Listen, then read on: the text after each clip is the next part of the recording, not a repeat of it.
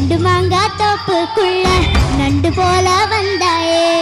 யாரும் இல்லா நேரம் பார்த்து கை பிடிச்சாயே.